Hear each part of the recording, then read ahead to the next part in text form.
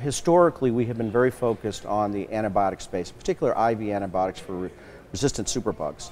But we really believe that as we've commercialized Cubicin, one such product, that our capabilities have really expanded to include um, any acute medicine, a medicine that's delivered for a relatively short period of time in a patient who has lots of health issues going on. And we think Entereg and Adolor fit beautifully into what we do very well. And uh, now Adolor has had a rough year. They lost the you know $260 million deal with Pfizer. Um, GlaxoSmithKline sold right. You know, sold, sold the drug back to them after they had helped them develop. What can Cubist do for Adolor that those other two drug companies couldn't? Well, I think there's a couple of things here. Um, one is our commercial footprint is really very focused in the hospital environment. And Entereg is clearly a hospital product. It's used when, for patients who, under, who are planning to undergo um, bowel resection surgery. So that's exactly what we do every day. We live in the hospital, we know how hospitals make decisions, we know how to define the intersection and articulate the intersection between quality clinical outcome and reduce costs for the hospitals, and we think Entereg has the opportunity to do that. We believe we can make this a $100 million drug in the U.S. With respect to the pipeline, we're a very focused company. This will be our third phase three program to add in, in 5945. And again, it's a part of that market that is uh, uh, delivered around the hospital that we think we bring exceptional expertise to there.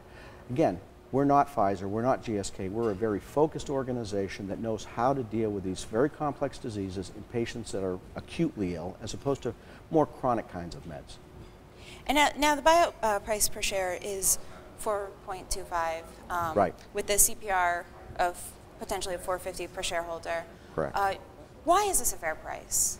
Well, we think it's a very fair price. Um, $4.25 represents a pretty significant premium to what Adolor was trading at at the last day, uh, Friday, last week, where they closed at 192. So it's a significant premium there. From our perspective, it represents about 2x what we think we can get in terms of Entereg, uh, annual revenues.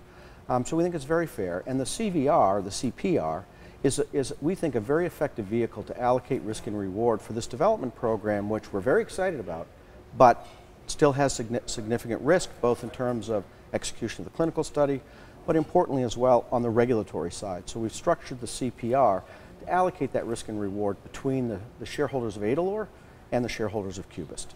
Uh, now, law firm has recently announced that it'll be investigating Adolor uh, for fiduciary, fiduciary responsibility.